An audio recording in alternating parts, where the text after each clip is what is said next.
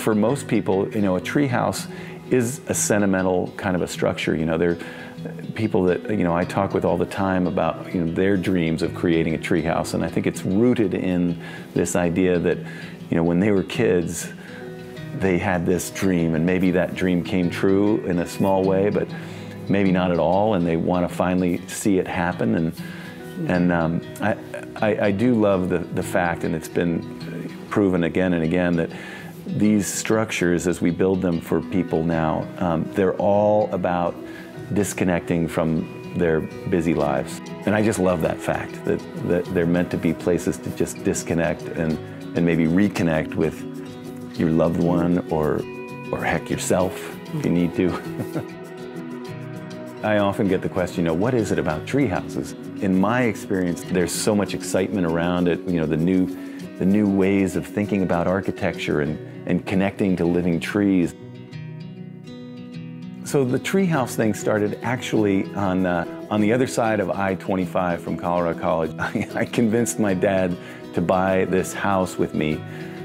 Right up the road, you know, two houses away, there was this beautiful, quintessential kids' treehouse. Mm-hmm. I mean, it had it was so cool. corrugated metal siding, and he had, Had these sort pulleys and things. of pulleys and uh-huh. lanterns and little half timbers to trim around the old windows. You know, true divided light windows, and it just looked picture perfect. And and I remember, you know, at the time I was thinking that, what what am I going to do with myself? I know I, I love building.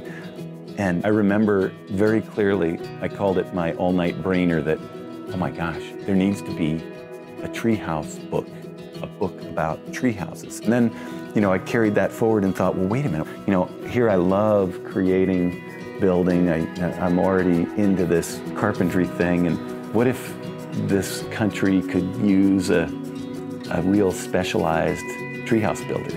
It was kind of crazy, and I think I think generally most people dismissed it as a crazy idea. But I had in my head right then that all-night brainer. When I woke up, I was going to be the treehouse guy. Whoever's out there, I have something to say. We built a simple little round shingle treehouse for the centerpiece of the book, and it was the time of my life. I loved it. Oh, we just had one of the greatest experiences, and it was then in 1992 that I thought, I don't know how we're going to do this. But we have to do Yeah, it. I- but we got to do it. I could just see it. We can we can create these things, use our brains and creativity, and and and have these experiences that you know, bring people together. You know, that was the other thing. I mean, we're get we're getting into the woods, which is one of the great things to do, and then you're also getting to know the people around you in a in a better way as you work together. And and I think the combination of those two things really, you know, cemented the idea that I've got to figure out a way to do this full time. So the book was published in 94 and it Yeah. got a lot of publicity Yeah. and it was a hit. It, we got in the New York Times magazine and Yeah, Smithsonian and so people started calling us, you know, calling the landline and saying, "I want can you build me a treehouse?" And I think that's where it really Yeah. got rolling. We came upon this piece of property that we're on right now, which is Yeah. now called Treehouse Point Yeah. and it had no tree houses. It was uh, a piece of property just under four acres, and with a house on it, and which we're in right now. Yeah. And uh, Pete saw it. He stopped by and walked and saw the amazing trees and had this vision, and came home and told me about it. And we both looked at it and said, "Oh my gosh, this Let's do it. let's build a couple tree Yeah. houses.